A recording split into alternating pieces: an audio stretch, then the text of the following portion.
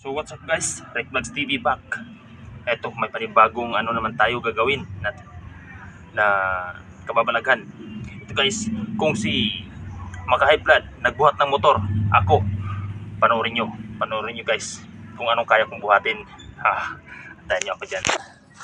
Yan. Kung si Maka High Blood kaya magbuhat ng kaya magbuhat ng motor, eh ngayon, ako naman ang panoorin nyo. So guys, kung si Maka High Blood kaya magbuhat ng motor, sa akin one hand lang. Panoorin nyo.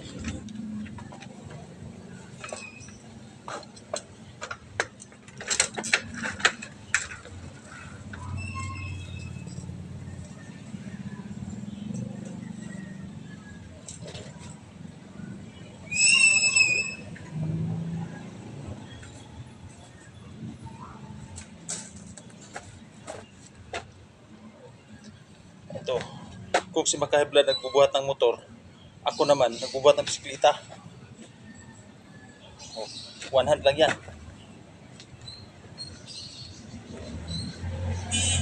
At saka kaliwat, ano ba yan? Kaliwat kanan. Ito.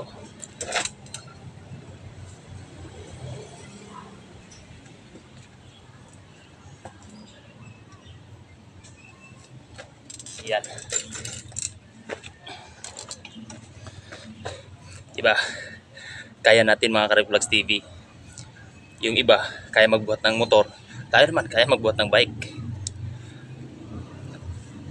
Kaya tayo, tayong lahat, huwag natin malitin yung ating mga sarili. Dahil lahat tayo, may kakayanan. May kakayanan tayo na hindi alam ng iba.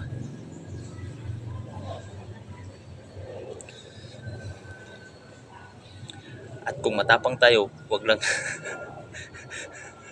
wag nating ano ah wag tayong porkit matapang tayo, wag tayo basta-basta na nalulusog na lang. Dahil kay, kahit gaano tayo katapang, walang kwenta yan. Dahil alam nyo, yung tapang, isip lang yan.